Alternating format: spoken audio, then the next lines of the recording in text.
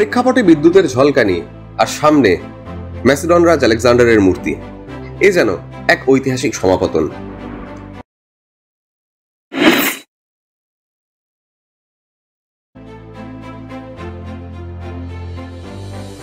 ম্যাসেডোনিয়ার রাজধানী থেসালোনিকি শহরে গত চার দিন অসম্ভব সুন্দরভাবে কাটানোর পর এবার সেই শহরকে বিদায় জানানোর পালা। শুধু থেসালোনিকি শহরকেই নয় বিদায় জানাব গ্রিসের মূল ভূখণ্ডকে। বেরিয়ে পড়ব গ্রিক দ্বীপপুঞ্জের উদ্দেশ্যে। আমার প্রথম গন্তব্য রোডস। রোডসে যেতে হবে বিমানে করে। আর তাই আমি এসে পৌঁছলাম এয়ারপোর্ট ম্যাকেদোনিয়া এখান থেকেই ছাড়বে আমার ফ্লাইট।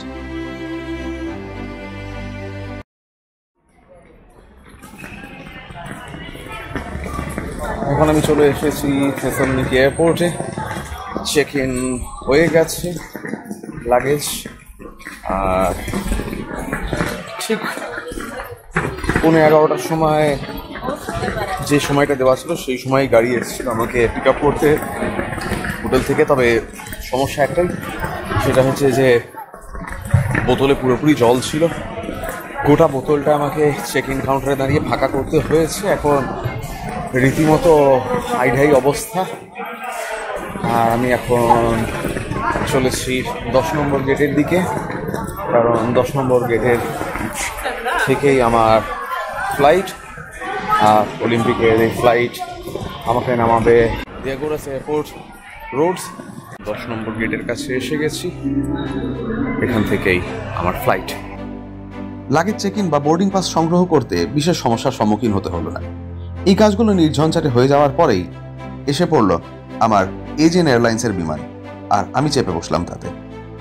গ্রিসের মূল ভূখণ্ডকে বিদায় জানিয়ে কিছুক্ষণের মধ্যে আমাদের দ্বীপের উদ্দেশ্যে যাত্রা শুরু হবে। পালা করে করে পরপর অনেকগুলো দ্বীপে যাওয়ার আছে। রোডস, ক্রিট, মিকোনস, নাক্সোস, বেলোস সান্তরিনি একে একে সব জায়গাতে আমরা যাব। আপাতত আমাদের গন্তব্য রোডস দ্বীপ। মেঘমুক্ত পরিষ্কার আবহাওয়া আর বিমান টেক অফের জন্য প্রস্তুতি নিতে শুরু করল। আমার ফ্লাইট টেক অফ করার সময় ছিল দুপুর একটা তিরিশ। আর ঠিক সময়ই বিমান টেক অফ করল। আর মাত্র কয়েক মুহূর্তের মধ্যেই আমরা উঠে গেলাম আকাশে। আমাদের নিচে নীল এজিয়ান সাগর। বিদায়, ম্যাসেলন। বিদায়, থেসালোনিকি। আবার হয়তো কখনো তোমার সঙ্গে দেখা হবে।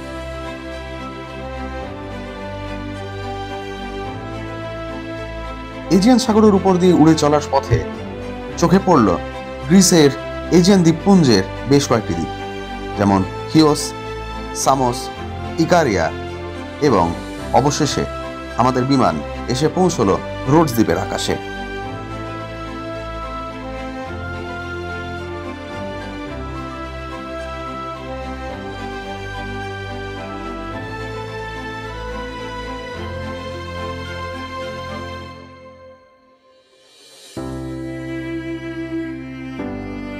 রোডসের দিয়াগোরাস এয়ারপোর্টে যখন আমাদের বিমান ল্যান্ড করল, তখন ঘড়ির কাঁটায়, সময় দুটো পনেরো। থেসালোনিকি থেকে রোডসে আসতে সময় লাগল মাত্র পঁয়তাল্লিশ মিনিট।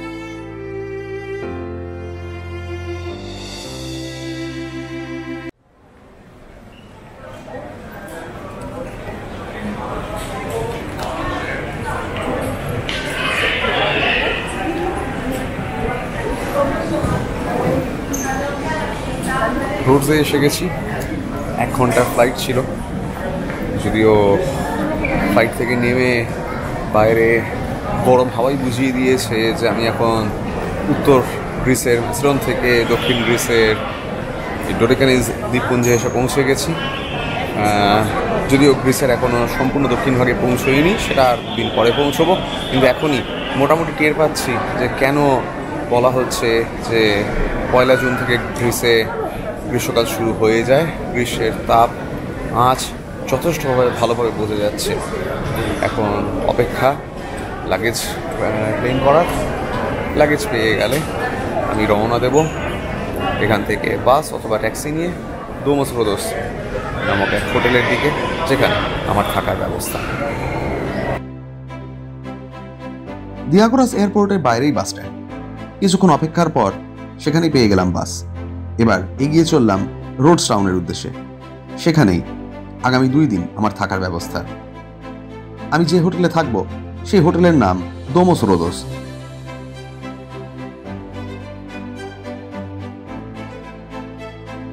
সমুদ্রের সমান্তরালে রাস্তা ধরে যখন বাস এগিয়ে চলছিল, তখন আমার বারবার মনে পড়ছিল গ্রিসে আসার সেই প্রথম দিনের কথা। সেই অ্যাথেন্সের মারিনা এবং সমুদ্রের ধার ধরে চলে যাওয়া ট্রাম লাইনের কথা। যদিও রোডসে ট্রাম নেই, এখানে চলাফেরার জন্য বাস এবং চার চাকার গাড়ি একমাত্র ভরসা।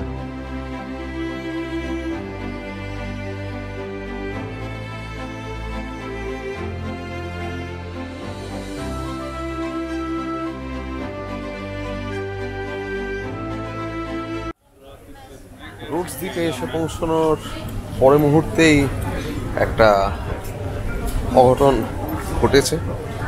অঘটনটা ঘটবে ঘটবে করছিল, করফু থেকেই। আমার সাথে থাকা যে বড় ট্রলি ব্যাগটা ইতিমধ্যেই তার মধ্যে এত কিছু জমেছে যে সেটা আর তার ভার নিতে পারেনি। ট্রলি ব্যাগ গেল সম্পূর্ণভাবে ভেঙে। রীতিমতো তার হাতল দুমড়ে মুছে একাকার অবস্থা। অতএব আমি বাধ্য হলাম রোডসে এসে হোটেলে চেক ইন করার মিনিট দশেকের মধ্যেই বেরিয়ে গেলাম। কাছাকাছি সুপার মার্কেট পাপু বলে একটা জায়গা, এখান থেকে ছ কিলোমিটারের মধ্যে। কিন্তু রোডসের বাসের কানেক্টিভিটি খুব ভালো নয়। এক একটা বাস প্রায় মিনিট কুড়ি, তিরিশ, পঞ্চাশ এরকম পরে আসে। তো সেই একটা বাস ধরে নিলাম। বাস ধরে ইয়ালেসোস অঞ্চলে, সেখানে সুপার মার্কেট পাবো সেখানে গেলাম। সেখানে গিয়ে অবশেষে আমার ব্যাগের সুরাহা করা গেল, একটা নতুন ট্রলি কিনতে হলো। আর এখন তাতে জিনিসপত্র আবার নতুন করে লোড করে এদিকে ফোনেরও চার্জ শেষ হয়ে গেছিল, ক্যামেরাগুলো চার্জ দিতে হতো। সেসব দিয়ে যখন অবশেষে হোটেল থেকে বেরোতে পারলাম, তখন রাত্রি প্রায় নটা। এখন বেরিয়েছি রোড শহরের রাত্রি আপনাদেরকে দেখাতে।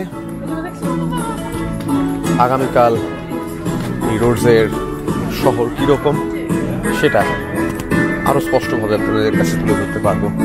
তবে যেখান দিয়ে যাচ্ছি, এটা হচ্ছে রোডসের মেডিভেল টাউন পাশেই রয়েছে একটা রাস্তা।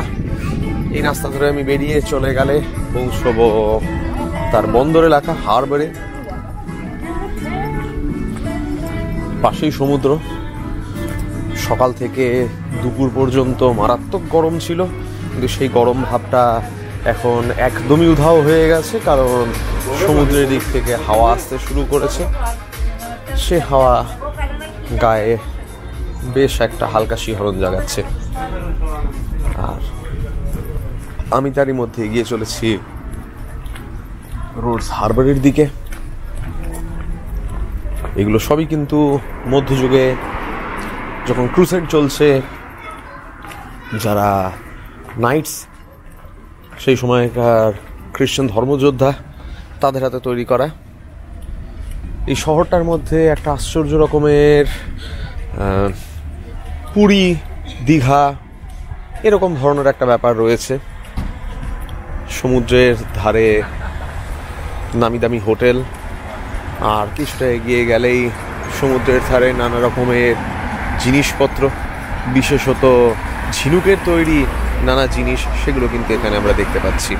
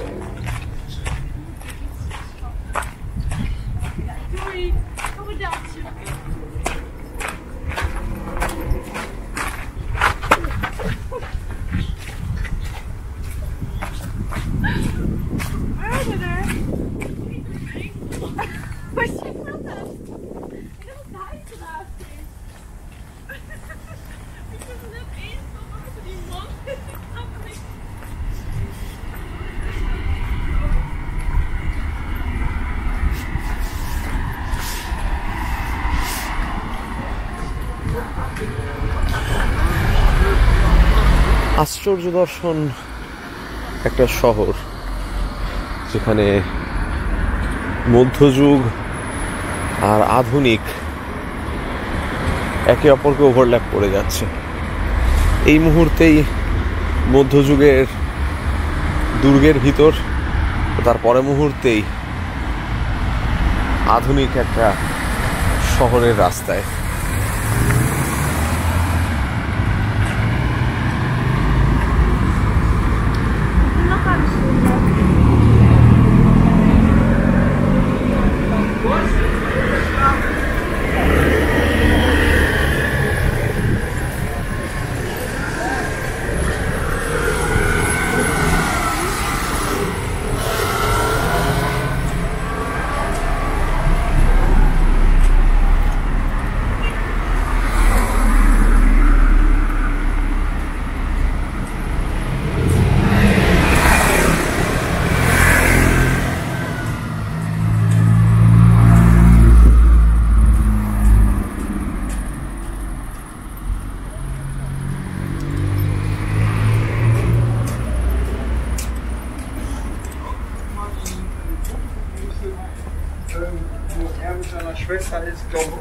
letzte Mal hier war. Ja. Ja. Ja, bei der Taufe. Ja. এখানে প্রচুর পরিমাণে জার্মান এসেছে জার্মানদের কিন্তু সংখ্যাধিক্য বেশ চোখে পড়ছে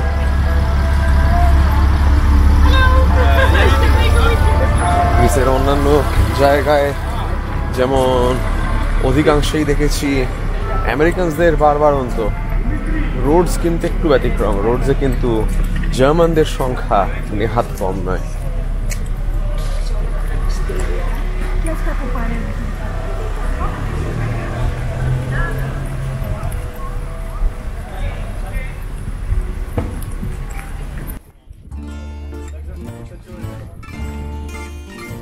আজকের বিকেল থেকে সন্ধে পর্যন্ত কেটে গেল ব্যস্ততা এবং ক্লান্তিতে।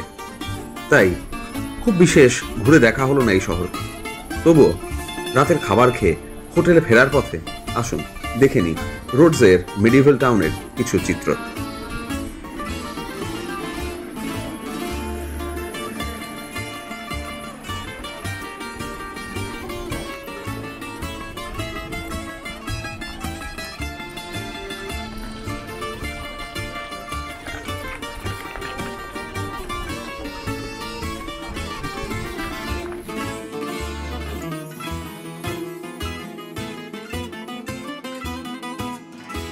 রোডস দ্বীপে আমার দ্বিতীয় দিন। গতকাল সারাদিনই কেটে গেছিল ক্লান্তি এবং ধকলে। তাই খুব ভালো করে এই দ্বীপ, এই শহরকে ঘুরে দেখা হয়নি। আর আজ সেই সুযোগ কোনোভাবেই হাতছাড়া করা যাবে না।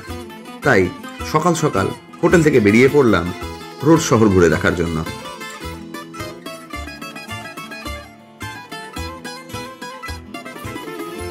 এই প্রসঙ্গে বলে রাখা ভালো রোড শহরের দুটো ভাগ।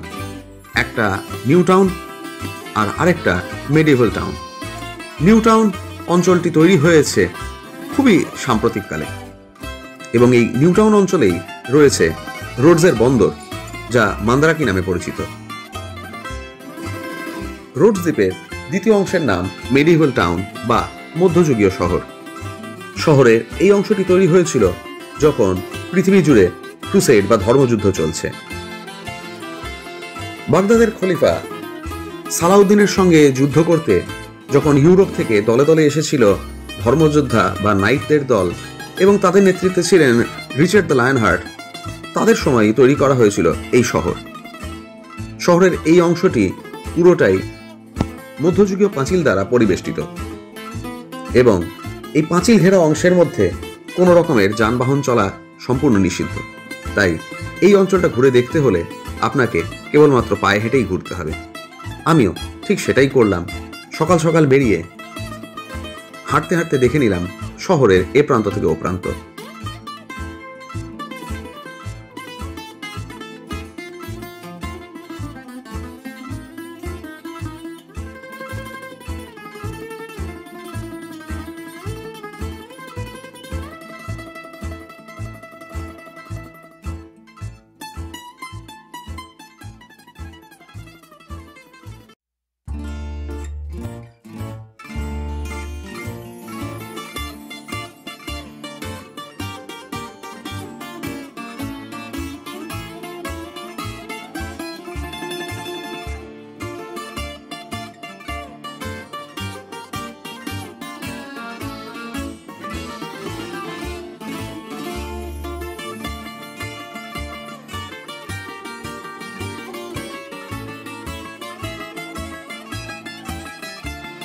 মেডিভেল টাউনের বাইরে কিছুক্ষণ অপেক্ষা করার পর এসে পড়ল আমার আজকের ট্রিপের গাড়ি।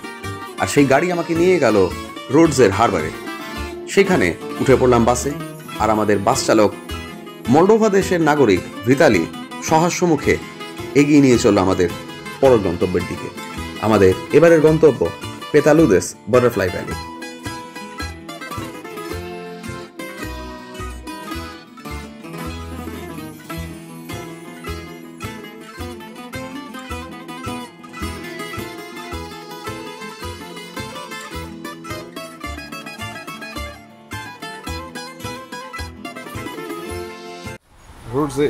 আজকে আমরা বেরিয়ে পড়েছি। প্রথম যেখানটায় আমরা এসেছি, সেই জায়গাটাকে বলা হচ্ছে বাটারফ্লাই ভ্যালি কারণ এখানে প্রচুর প্রজাপতির সমারোহ হয়। যদিও আসলে সেগুলো প্রজাপতি নয় থেকে টাইগার মথ বলা হয়।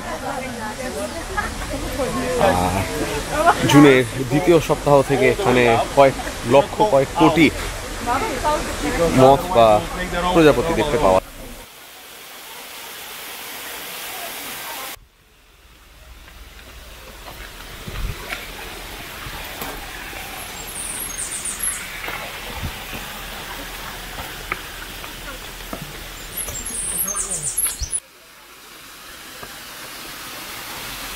অনেকটাই উপরে উঠতে হবে।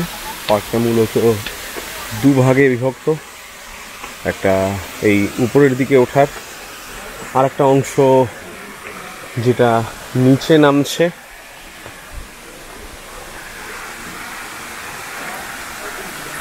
একটাই টিকিট, তিন ইউরো তার দাম। এবং সেই টিকিট নিয়ে আমরা উপরের এবং নিচের দুই অংশেই যেতে পারব। কিন্তু টিকিটটা সামলে রাখতে হবে। কারণ অনেকটা হাঁটলে তবে একটা খ্রিশ্চান মনস্ট্রির দিকে পৌঁছানো যাবে। তবে আমি আর সেদিকে যাচ্ছি না।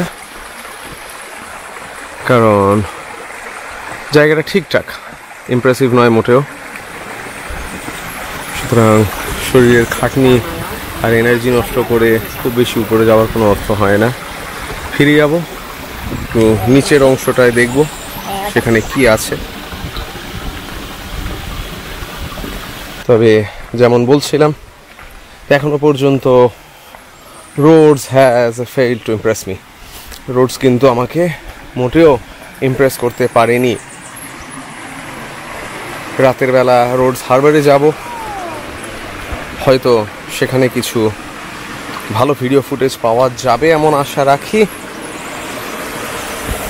আর কিছুক্ষণ পরে রোডসের দক্ষিণ মধ্য অঞ্চলে লিন্দোস শহরে যাব। সেখানে একটা দারুণ অ্যাক্রোপলিস আছে। আশা করি আমার চোখে রোডসে যে খারাপ ইমপ্রেশন লিন্দোস কিছুটা হলেও সেটার ক্ষতিপূরণ করতে সক্ষম হবে। আপাতত আমি নিচে নামার পথে।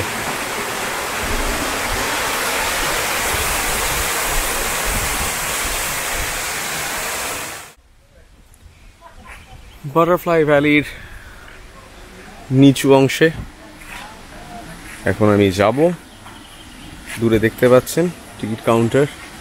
ওইখানে এই আপার পার্ট আর এই হচ্ছে লোয়ার পার্ট যেখানে আমি নামা শুরু করলাম।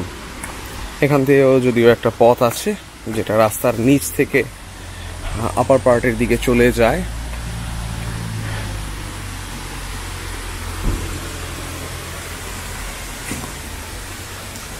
হচ্ছে লোয়ার পার্ট মূলত এখানে ক্যাফেটেরিয়া রেস্তোরাঁ এইসব রয়েছে।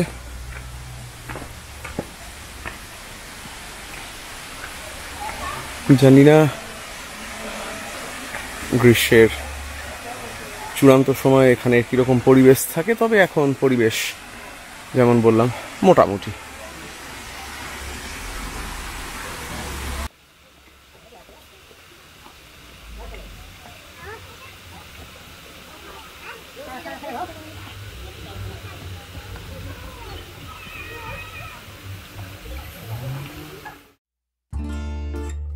আমাদের পরের গন্তব্য, ফিলেরিমস।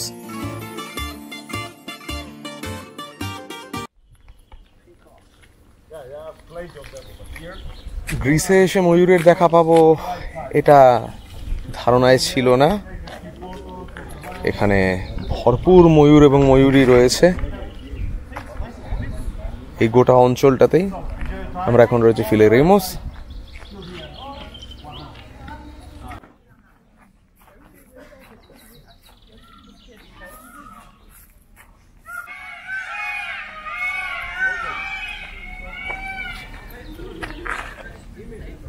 যে আওয়াজটা শুনতে পেলেন সেটাই কেকার ধ্বনি?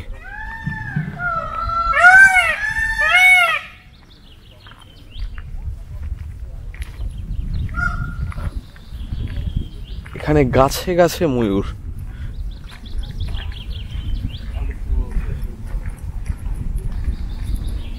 নিজে এত জায়গায় গেছি, ময়ূর দেখেছি মূলত নানা চিড়িয়াখানায় এবং ময়ূর, যা কিনা মোটামুটি ভারতের পশ্চিম অংশের সঙ্গে তার সম্পর্ক খুঁজে পাওয়া যায়, তা বলে গ্রিসে এবং গ্রিসের পূর্বতম অঞ্চল, রোডস, সেখানে ময়ূর দেখতে পাওয়া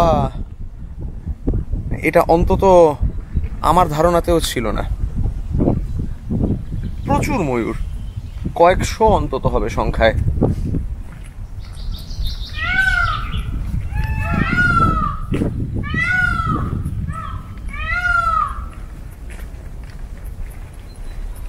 Get too close, to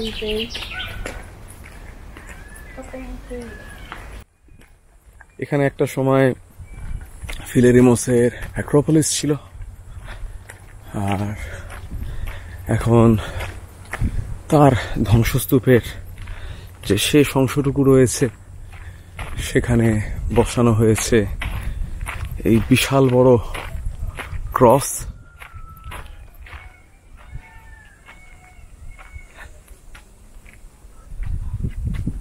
যা মূলত জানান দেয় গ্রিসের সবচেয়ে বড় ধর্ম, অর্থোডক্স ক্রিশ্চিয়ানিটির কথা। ফিলেরিমোসের অ্যাক্রোপলিসের চূড়া থেকে সামনে দেখতে পাচ্ছিলাম সুনীল এজিয়ান সাগর। দূর দিগন্তে দেখা দিয়েছে তুরস্ক দেশের রেখা। আর সেদিকেই চেয়ে মাথা উঁচু করে দাঁড়িয়ে আছে গ্রিক অর্থোডক্স ধর্মের যিশুর ক্রুশকাঠের চিহ্ন। Time Honey. 2015 Crystal Taste Award, which means best in the world. In Brussels every year, it's a contest with beekeepers. And in 2015, I think it's more. এখন আমরা চলেছি যেখানে সেটা একটা মধুর জাদুঘর পৃথিবীর সবচেয়ে শ্রেষ্ঠ মধুর তকমা পেয়েছে এখানকার মধু bee museum Waiting for questioning will end without For the record, yeah?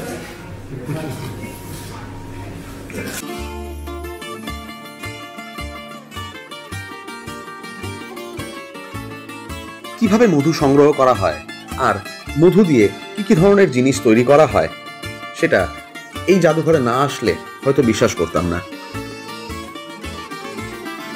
মৌমাছির চাষ বা এপিকালচার যে রোডস দ্বীপের মানুষের জীবিকা নির্বাহের একটি অন্যতম মাধ্যম, সেটা না দেখলে বিশ্বাস করা কঠিন। পৃথিবীর শ্রেষ্ঠ মধু এবং গ্রিসের সবচাইতে বড় মধু নির্মিত খাদ্য মেলিকুনি তৈরির জন্য এই মিউজিয়াম পেয়েছে গিনেস বুক অফ ওয়ার্ল্ড রেকর্ডের সার্টিফিকেট চাক্ষুষ করলাম সেই সার্টিফিকেটটিও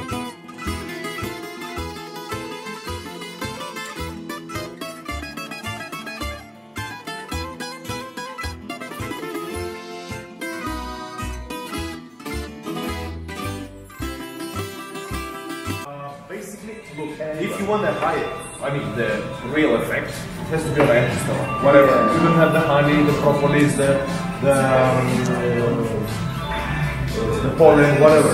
Empty stomach because.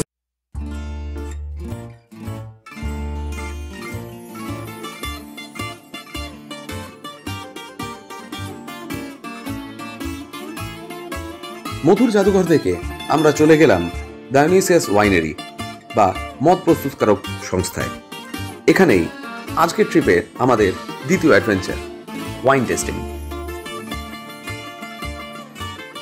red white R rosé এই তিন প্রকারের ওয়াইনের মোট পনেরোটি স্পেসিমেন আমরা স্বাদ গ্রহণ করে দেখলাম।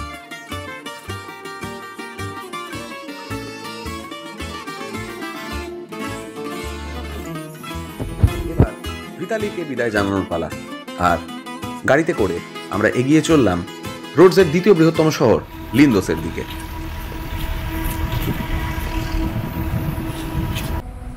নানা রকমের ফুল ফুটে রয়েছে চারিদিকে।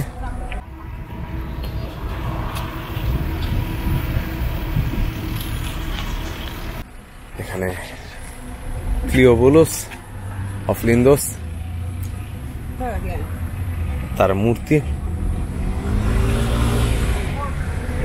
ব্রোঞ্জের মূর্তি। সামনে রাখা আছে। আর পাশেই রয়েছে লিন্দোসের উপদ্বীপের একটা অংশ, যেটা এজেন্ট সাগরের দিকে এগিয়ে গেছে। আমরা অনেক দূর পর্যন্ত দেখতে পাচ্ছি এখান থেকে।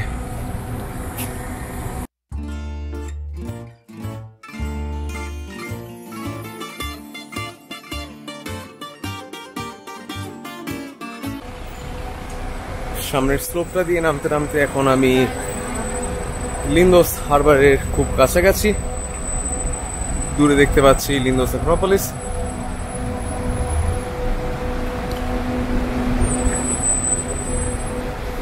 গ্রিসে অন্তত তিনখানা অ্যাক্রোপলিস রয়েছে, যেগুলো জগৎ বিখ্যাত। তার মধ্যে অবশ্যই অ্যাথেন্সের অ্যাক্রোপলিস পার্থেনন তার কথা না বললেই নয়। তারপরে অ্যাক্রোকরিন্থ লিন্দোস অ্যাক্রোপলিস অ্যাক্রোপলিসের পাশাপাশি অ্যাক্রোকরিন্থ দেখা হয়নি আমার যদিও। কিন্তু লিন্দোস অ্যাক্রোপলিস এখন আমার চোখের সামনে। গ্রিসে আসার পর থেকে শুনেছিলাম গ্রিক আইল্যান্ডসে গাধার পিঠে চড়ে একটু উঁচু জায়গায় যাতায়াত করা হয়। তো সেই লোভ সামলাতে পারছি না। গাধা বুক করে নিয়েছি। গাধার পিঠে চড়ে চলে যাব অ্যাক্রোপলিসের ওপরে যেতে আট ইউরো, নামতে সাত ইউরো, মোট পনেরো ইউরো ভাড়া। জীবনে হয়তো একবারই হোক গাধার পিঠে চড়া।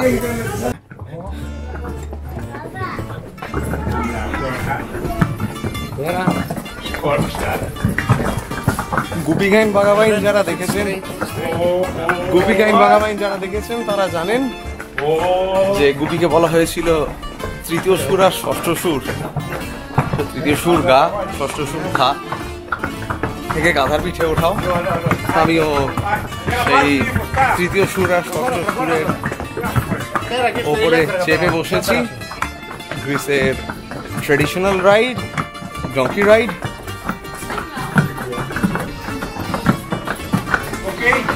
এখন আমরা এই গলি দিয়ে উঠে যাব। আক্রোপলিসের দিকে আক্রোপলি টু লিঙ্গুস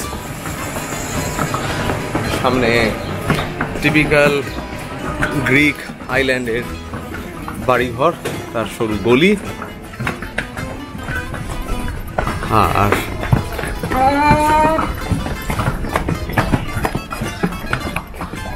সামনে যারা যাচ্ছে, ঠিক সেভাবে আমিও উঠে বসেছি গাধার পিঠে। আর একটা আশ্চর্য রকমের অভিজ্ঞতা। হাসিও পাচ্ছে, মজাও লাগছে। পুরীতে গিয়ে উটের পিঠে ওঠা হয়েছে দুবার। আর গ্রিসে এসে গাধার পিঠে চড়বো না হতে হতে পারে না। উঠে বসেছি অতএব।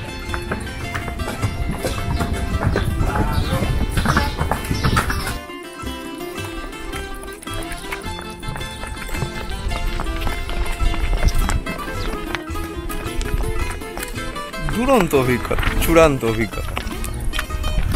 বলার অপেক্ষা রাখে না। দারুণ দারুণ। এটা একটা মজার জিনিস হচ্ছে। ধীরে ধীরে দূরে লিন্দোস হারবার ছোট হয়ে আসছে। আর এখানে আমি ডঙ্কি রাইড করছি। মিল্টোর সঙ্গে আমরা এখন আক্রোপলিসের উপরে যাচ্ছি। আর গ্রিক ভাষায় যেমন বলে, দারুণ পলিকালো পলিওরেয়া পলিওমরফা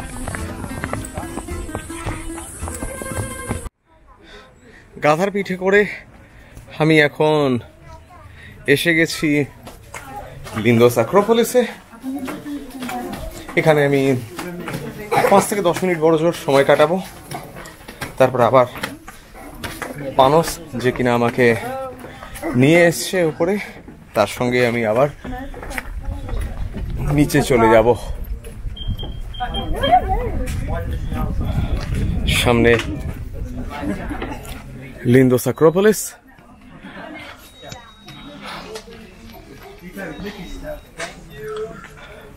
অনেকে এখানে টিকিট কেটে ঢুকছে, আমি আর ঢুকবো না। কারণ অ্যাক্রোপলিসের ভিতরে খুব বিশেষ দেখবার কিছু নেই। তার পাশাপাশি নিচে আমার বাহন তারা অপেক্ষা করে আছে। তাদের সঙ্গে একসাথে নিচে নেমে যাব আমি।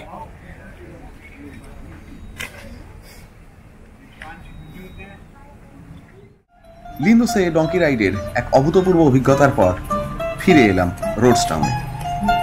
মধ্যযুগীয় নাইটসের দুর্গের মধ্যে দিয়ে হেঁটে পৌঁছে গেলাম আবার আমার হোটেলে সেখানে কিছুক্ষণ রেস্ট নেওয়ার পর বেরিয়ে পড়ব রোডস দ্বীপে আমার শেষ রাত উপভোগ করতে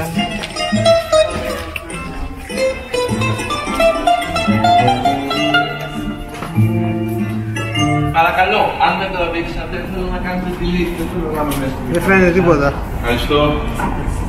Καλό βράδυ.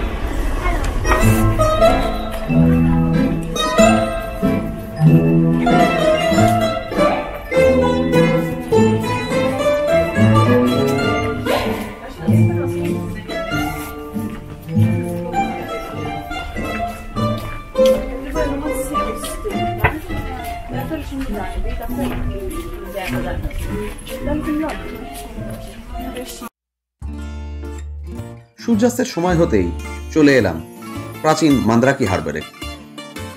কথিত, এই মান্দ্রাকি হারবারেই ছিল রোডসের সেই সপ্তম আশ্চর্যের একটি আশ্চর্য কলোসাসের মূর্তি। যদিও আজ আর সেই মূর্তির কিছুই অবশিষ্ট নেই। যেখানে এই মূর্তির পা দুটি ছিল, সেখানে স্থাপন করা হয়েছে দুটি স্তম্ভ। যার ওপর রয়েছে একটি পুরুষ এবং একটি নারী হরিণের মূর্তি।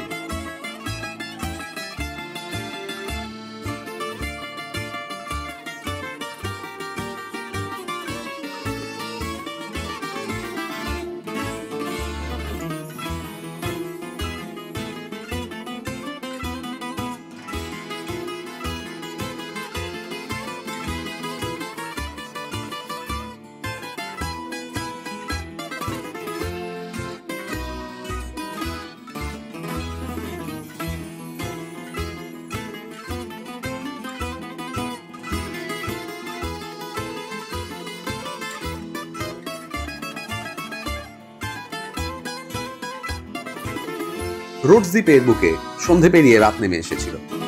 আর আজকেই যেহেতু এখানে আমার শেষ রাত, সেই শেষ রাতে শহরটিকে ঘুরে ঘুরে উপভোগ করতে লাগলাম। দুচোখ ভরে দেখছিলাম শহরে মধ্যযুগীয় এবং অটোমান যুগের নানা স্থাপত্য। সেই স্থাপত্যগুলির মধ্যে এই শহরে রয়েছে বেশ কয়েকটি প্রাচীন অটোমান মসজিদ। যদিও আজ তার প্রতিটাই কোনো না কোনো জাদুঘরে রূপান্তরিত হয়েছে।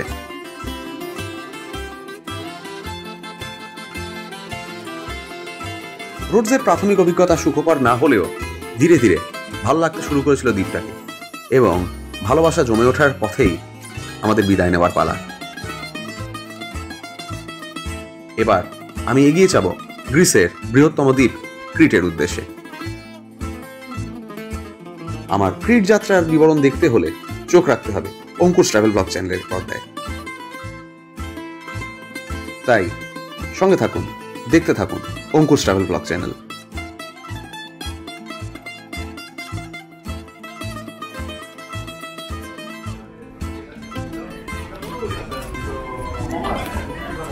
ক্রিটে এসেছি যখন ক্রেটেন বিয়ার খেতে হবে। ইয়ামাস